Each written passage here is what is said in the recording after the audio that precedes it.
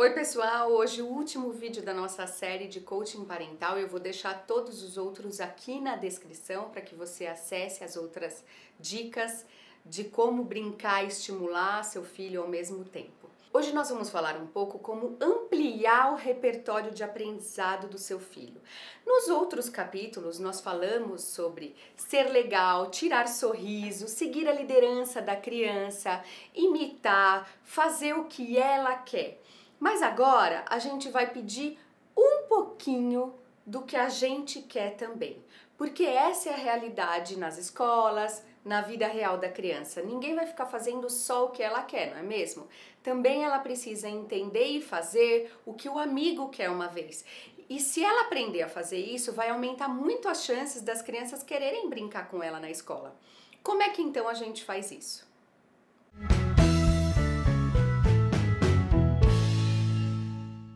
Então, nós vamos usar tudo que nós aprendemos nos outros vídeos até agora para ganhar a atenção da criança, para fazer com que ela deixe a gente brincar com ela e olhe pra gente, esteja sorrindo. Então eu estou posicionada aqui, sentada na frente da Lourdes, e ela gosta muito de brincar com essa boneca. Ela fica fazendo movimentos repetitivos de deitar e levantar, deitar e levantar, deitar e levantar. Então eu participo da brincadeira dela, eu narro o que ela está fazendo, eu posso imitá-la com uma outra bonequinha também e faço o que ela quer por três, quatro vezes. Depois eu peço uma coisa que eu quero ensinar para ela. Por exemplo, hoje eu quero ensinar para ela a fazer carinho. Então ela, eu pego a bonequinha que ela está usando e mostro para ela. Agora, Lourdes, carinho. Carinho carinho, faz carinho. E aí a Lourdes provavelmente vai de novo querer brincar de levantar e abaixar, que era o tema que ela tinha desenvolvido. E aí eu vou impedir e falo para ela: Lourdes, carinho, assim, faz. Se ela não fizer, eu pego a mãozinha dela e faço carinho, carinho. Ah! Vocês perceberam o que eu fiz? Eu usei três tipos de ajuda. Eu dei três chances para ela fazer o que eu estava fazendo. Primeiro eu pedi, eu pedi verbalmente. Depois eu pedi um pouquinho mais enfática e mostrei para ela novamente o que tinha que fazer e dei a dica gestual do que ela tinha que fazer. Eu usei verbal e gestual. Na terceira vez, eu já peguei a mãozinha dela e dei ajuda física para ela fazer. Por que isso, pessoal? Porque a criança não pode pensar que ela pode ignorar o que a gente está falando. Se a gente falou com uma palavrinha só, mostrou de um jeito que é possível dela fazer, com um brinquedo que está acessível a ela, ela precisa fazer um pouquinho também para mim do que eu quero.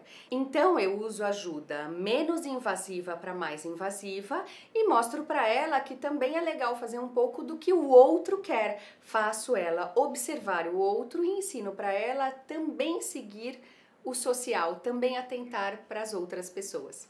Depois que ela fizer o que eu pedi, eu volto imediatamente para a brincadeira dela.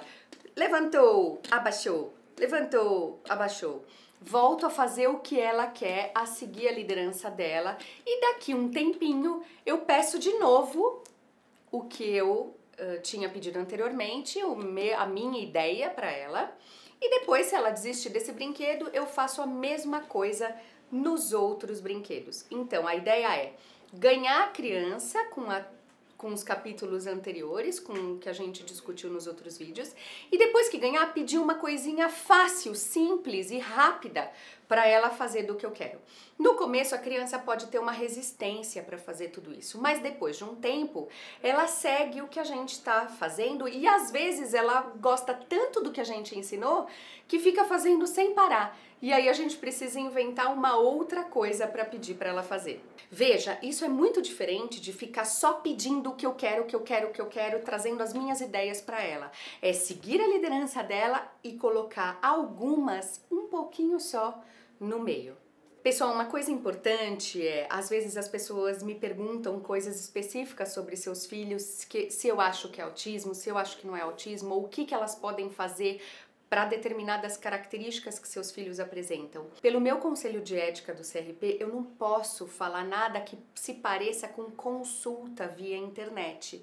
Eu tento responder ao máximo, ajudar ao máximo vocês com ideias, mas eu não posso fazer consultas específicas a casos específicos. Então eu vou responder sempre que eu puder, da melhor maneira possível, tá bom? Fica com a gente até o próximo vídeo. Tchau, tchau.